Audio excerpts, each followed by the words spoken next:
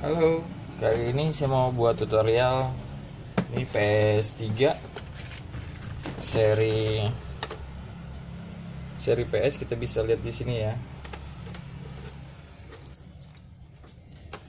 Ini seri PS seri 25 C seri 25 CFV biasanya. Ini kendalanya mati total. Mati total langkah yang pertama. Ini mati total kita coba.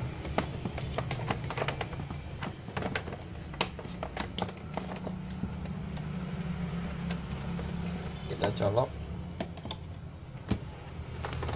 Tidak hidup sama sekali.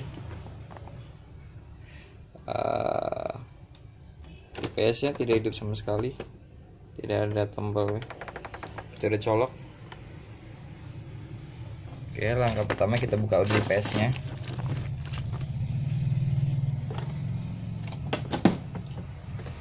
Ini saya udah buka bautnya biar cepat bikin tutorialnya. Jadi ada beberapa baut yang perlu teman-teman punya itu obeng, obeng biasa untuk buka baut.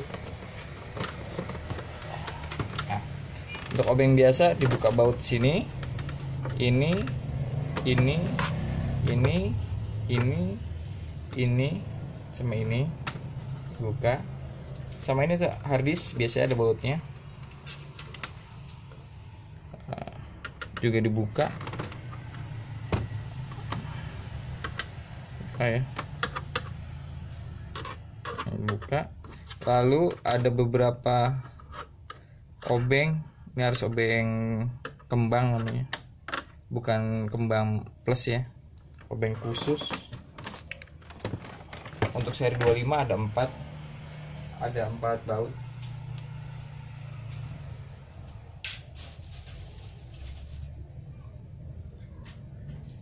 Nah. Obengnya seperti ini. Nah, obeng kembang tapi ada lubangnya di tengahnya.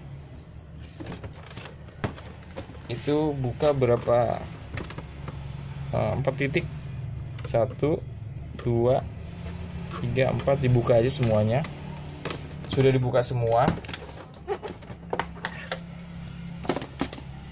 PS sudah bisa dibuka. Nah, langkah pertama sebelum kita cek mesin kita copot dulu ini. Uh, ini power supply nya kita cabut bagian sini nih. Ini ada ini. Cabut. Mudah-mudahan kameranya jelas. Cabut aja.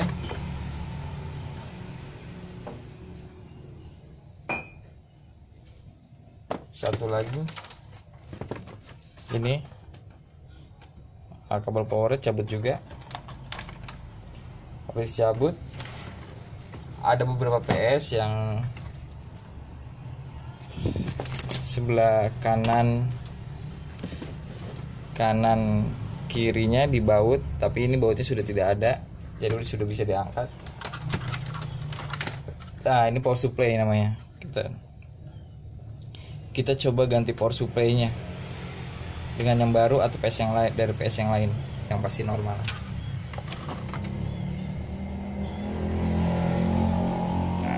ini power supply nya lalu kita masukkan power supply nya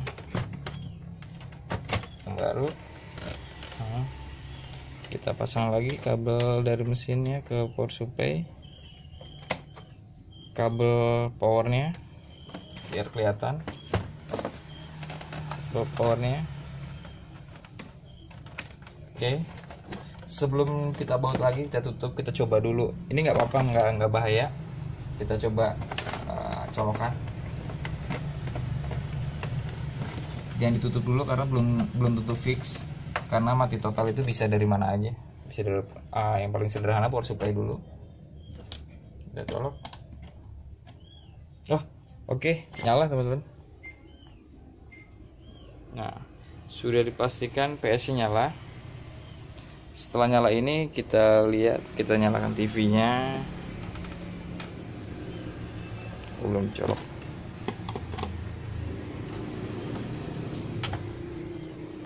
Kita nyalakan PS nya nyala. Kita ke AVI dulu.